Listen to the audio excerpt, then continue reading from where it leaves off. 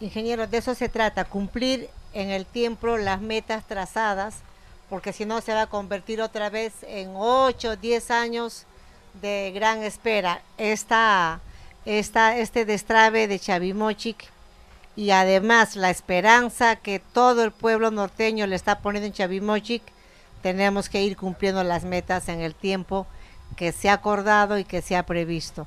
No nos podemos extender. Quizá podemos extendernos un poquito, pero no nos podemos extender años en ello.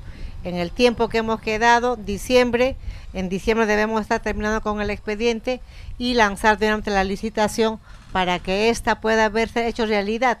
Vamos a crecer ahí 20 metros más arriba, vamos a cerrar todo esto, más, más la canaleta que está. Es una obra de gran envergadura que no solamente es la esperanza del, del norte del Perú, sino del Perú entero, porque a través de tener gran cantidad de agua y grandes extensiones de hectáreas para nuevos sembríos, estaríamos garantizando la, la, alimentación para el Perú y también para sacar nuestros productos al mundo. Así es que tenemos gran tarea, sobre todo Midagri tiene que caminar y ahora que estamos con una empresa o con un país tan responsable como es Canadá, yo creo que estamos dando los pasos buenos y concretos.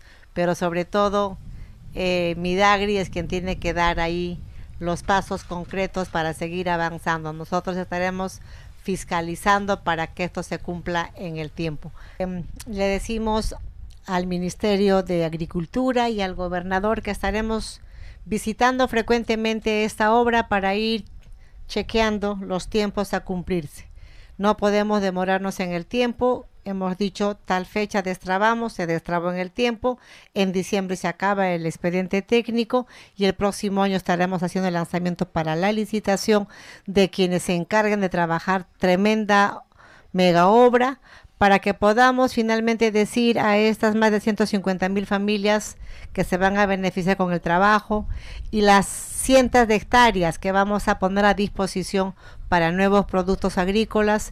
Y estos a través de Puerto Chancay estar yendo a aquel lugar asiático que tanto añoran nuestros productos peruanos, no solamente arándanos, paltas, uva, mangos, sino espárragos y demás eh, eh, productos que podamos sacar a través de nuestro mar peruano. Así es que manos a la obra, señores de Midagri, no nos retrasemos un día más y sigamos cumpliendo los plazos que nos hemos establecido y eso hará, demostrará que el ministerio está realmente trabajando, empeñado en que esta mega obra termine pronto en el plazo y pongamos a disposición de todo el norte.